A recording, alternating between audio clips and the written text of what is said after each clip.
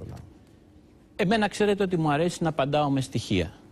Ο κόσμος τι νομίζει; Κούρεμα 50%. Σου λέει έχουμε 360 δισεκατομμύρια χρέος, κούρεμα 50% θα μείνουν 180. Καλά είμαστε.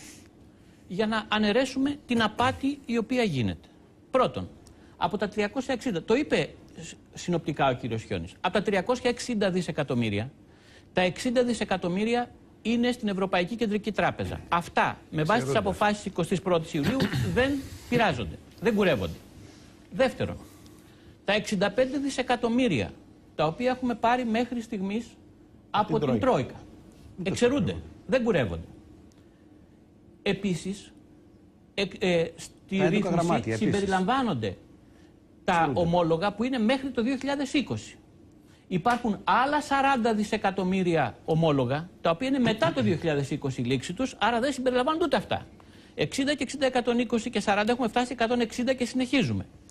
15 δισεκατομμύρια είναι έντοκα γραμμάτια. Σύντομης διάρκειας, τριών, έξι ενός έτους, μηνών εννοώ και ενός έτους, τα οποία δεν κουρεύονται και αυτά. Πάνε και αυτά. Και είναι κι άλλα 20 δισεκατομμύρια δάνεια, τα οποία έχει συνάψει με διάφορους τρόπους το ελληνικό δημόσιο.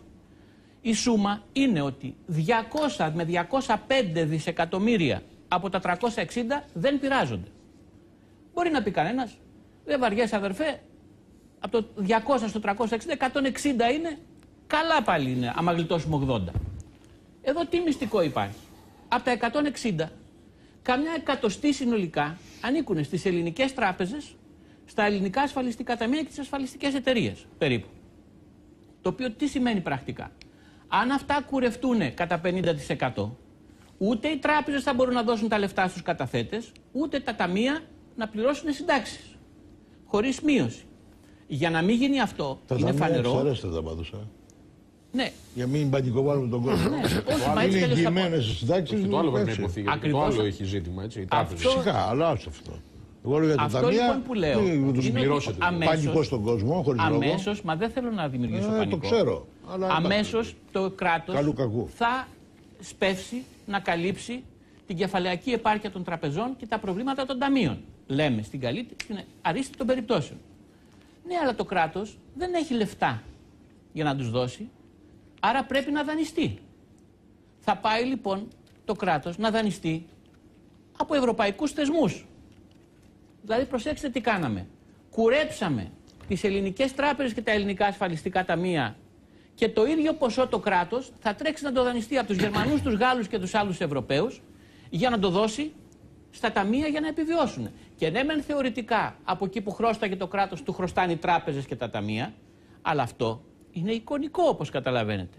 Η ουσία είναι λοιπόν. λάβεις παρά του μη έχοντος. Έτσι. Μετέτρεψαν δηλαδή με αυτόν τον τρόπο, θα μετατρέψουν το ελληνικό χρέος, το χρέος Ελλήνων του, του κράτους προς Έλληνες, θα το μετατρέψει σε χρέος του εξωτερικό και μη διαπραγματεύσιμο κιόλας γιατί θα είναι στο πλαίσιο των ευρωπαϊκών μηχανισμών. Το κάνετε στήριξης. να μην ακούγεται συμφέρον το κούρεμα. Ε, φυσικά, λίγο. Γιατί άμα. Λοιπόν... Γιατί η αίσθηση, τι φυσικά σίγουρα λέτε κύριε Δίκητα, ακούσατε τη δήλωση του Πρωθυπουργού; Ο Πρωθυπουργός είπε ότι θα απαλλαγούμε από χρέος.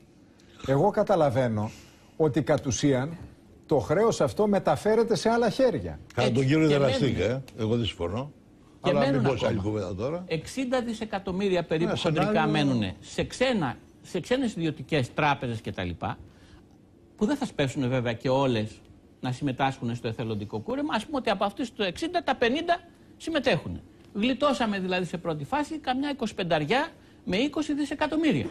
Δηλαδή αυτά τα μαθηματικά, το 50% κούρεμα του 360 κάνει 25 ή αποκαλύπτουν την απάτη η οποία γίνεται. Και υπ' αυτό το πρίσμα βέβαια καταλαβαίνετε ότι διαφωνώ ριζικότατα με αυτήν την πολιτική και βέβαια δεν είναι τυχαίο. Ποια θα ήταν η λύση, είχαμε άλλη λύση σε αυτή τη φάση. Και ένα στοιχείο ακόμη, δεν είναι τυχαίο το γεγονός ότι πριν από δύο χρόνια το Πασόκ παρέλαβε το δημόσιο χρέος 115% κατά τη Νέα Δημοκρατία, 127% κατά το Πασόκ.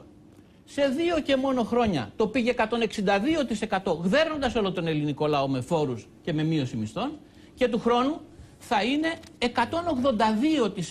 του ΑΕΠ.